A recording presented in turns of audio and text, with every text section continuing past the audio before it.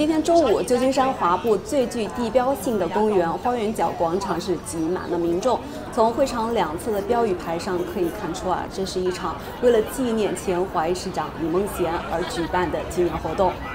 去年十二月十二号，李孟贤是因为突发心脏病而骤然离世。那么他的去世呢，不仅是给旧金山华埠，也给整个旧金山市都是带来了不小的震动。那么今天呢，在他去世一周年正式到来之前，旧金山华埠的六大侨团也是联手举办活动，以纪念旧金山市首位华裔市长。这六大侨团分别是旧金山中华总商会。中华总会馆、英端工商总会、理事端宗总公所、驻美泰山宁阳总会馆和亚太裔委员会，在今天的活动中，他们的代表先后登台，从不同的角度回顾了李孟贤对旧金山华社所做的贡献。李万贤市长由七十年代开始推动公民权益十多年，佢喺华埠产地省港逼迁事件中。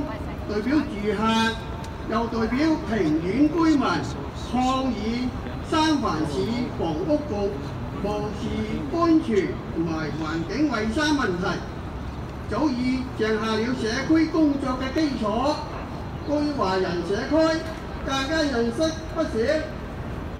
李曼贤市长为我哋华人谋福祉，为推动华人参政树立咗榜样。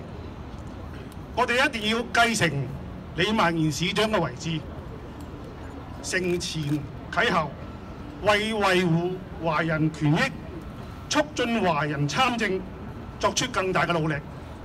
我哋敬爱嘅李曼贤市长，喺过去一嗰年不幸忽然間逝世，佢崇高嘅性格同埋坚强嘅毅力，深深感召咗我哋所有三藩市嘅民众。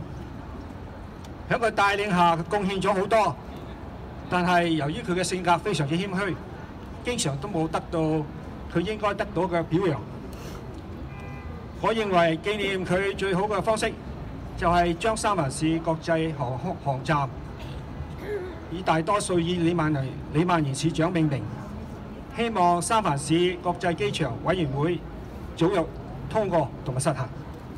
除了旧金山华社的主要侨团代表之外，今天旧金山市市长布里德、几名市议员和民选官员代表、警局等市政机构代表，以及从旧金山市议会走出来的众议员威善高和邱信福都一一出席活动。这些人基本上都曾经和李孟贤共事，因此呢，他们也从一个同事和朋友的视角，向大家分享了李孟贤不为民众所知的更多面。Today. It's been almost a year since we lost him on that faithful day of December 12th. And we will not forget his warm heart, his kind words, how he committed his life to public service here in San Francisco, not just as our mayor, but serving in his capacity as department head for Department of Public Works and Purchasing and the Human Rights Commission. We were each told we have one minute on this stage. And to Anita and the family, 60 seconds is not enough time for us to express how much our good mayor's life and his legacy and our love for him. But I have only two things to say. First, over the past year, everywhere I walk here in Chinatown, Mayor Lee's impact is felt. From the Chinese hospital to the central subway, his spirit lives on. The second thing I want to say is I'm sad that my two year old son will never get to know Mayor Lee. He will never have an opportunity to play ping pong with Mayor Lee here in Portman Square, to hear one of his corny jokes, to see the leadership of civility and service that he represents. But I know, and that we know, that Mayor Lee's spirit will continue on in each and every one of us here. And I do remember that uh, when I won my Board of Supervisors election, Rose sat me down and said, the one person you must meet with before you start your office is to meet with Ed Lee, because Ed knows everything about San Francisco. And he was my very last meeting before I went to go visit my family And a week and a half later, he was appointed the mayor of our great city.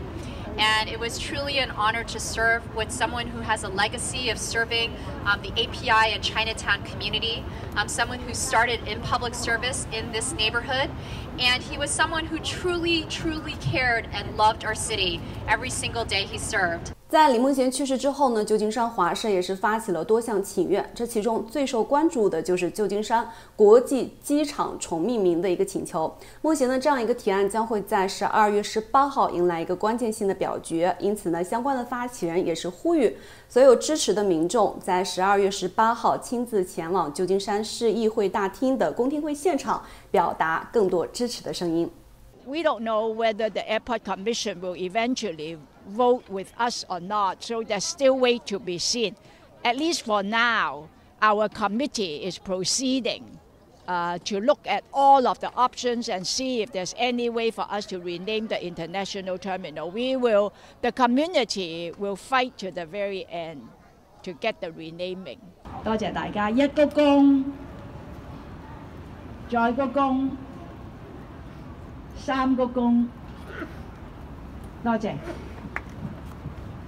Thank you all for coming. You're beautiful.